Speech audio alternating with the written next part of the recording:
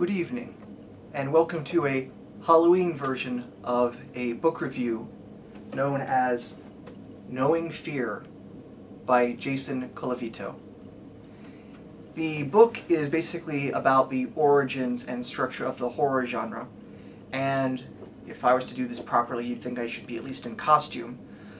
Go ahead and assume that I am John Carpenter's The Thing. That should set the mood. The main premise of the book is the idea of how aspects of knowledge, of learning, of coming to discover things is a major underpinning of the entire horror genre from its origins as a response to the Enlightenment and its various values, and as that flowed into the various generations to the Romantics, the Victorians, and of course to 20th century things.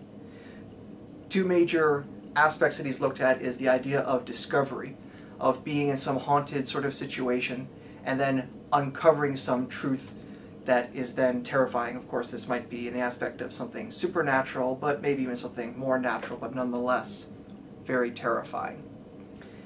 And the other aspect that's probably most well christened in Mary Shelley's Frankenstein, the idea of pursuing forbidden knowledge, knowledge that you ought not to have and that wreaks great terror, which is illustrated rather well in that early 19th century novel. This isn't to say, of course, that the premise is always that knowledge is bad. For example, in Dracula, as Colavito points out, there are basically three aspects. You have the forbidden and inappropriate science and knowledge of Dracula that allowed him to become the monster that he is, but of course has to then shun all that is good, right, and holy in the world. You have uh, Seward, who is dogmatic in his scientific beliefs, very meticulous but he does not have the inquiry process that should lead him to the truth that's only done properly by Dr. Abraham Van Helsing, who is open to all forms of knowledge, and through his proper pursuit discovers the cause of various sicknesses to be the recently brought to London vampire, and eventually successfully extinguishes this and the terror that it brought.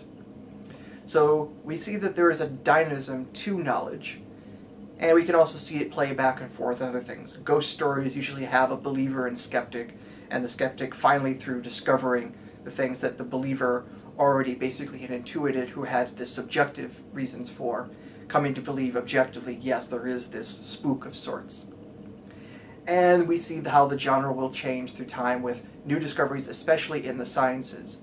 Frankenstein, very influenced by some of the biological research of the early 19th century, especially how electricity could cause dead matter to move again.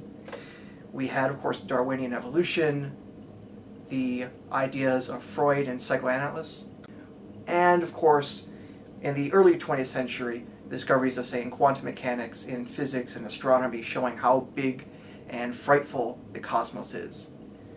In many ways, this is then well captured by one of the greats of the 20th century in horror with H.P. Lovecraft, with the idea of basically putting humans on the cosmic stage and being overwhelmed by how insignificant they are and the forces of the universe coming in and amorally swiping them away, especially in the noted Call of Cthulhu and the mythos that built up around that.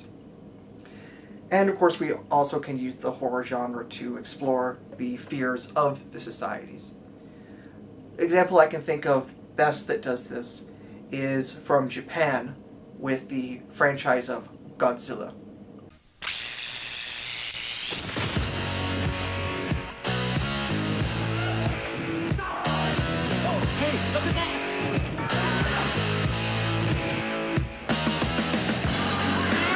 Well, it's big and terrible. There we have basically a couple aspects of the knowledge thesis going on. We have the discovery aspect of slowly discovering what the natives had always believed about a giant monster, and in particular, this atomic monster that had come and started attacking the Japanese coastline.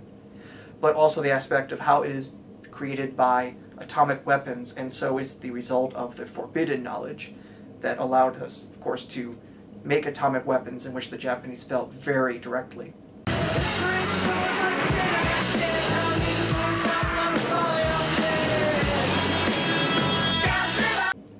But again, also it is knowledge that finally defeats the monster, especially as the military utterly failed in many ways kind of representative of the Second World War for Japan, as their military unsuccessfully defended against the atomic menace that had destroyed much of the uh, great country that it was, and then with the great fire bombings of Tokyo and the atomic weapons of uh, Nagasaki and Hiroshima, we then see how science in the Godzilla franchise, in the first movie at least, defeats the monster and saves them. Also, the thing that is enjoyable about the book is not only does it explain the origins and history of the genre, but it also then tries to make some of the ways it's progressed more sensible, including the slasher films and the things I might call torture porn of more recent, such as Saw. So, if you wish to understand horror, this becomes a very useful volume in case you're just interested in yourself or if you wish to produce your own. You definitely want to understand where it comes from.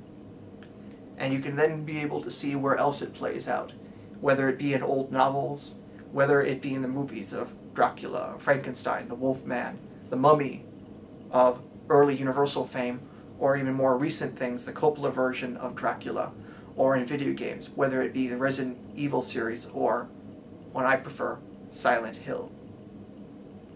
So, celebrate Halloween, sit back, watch a good scary movie, and understand what is going on in the subtleties of the script, supposing it's a good movie, and begin to know fear.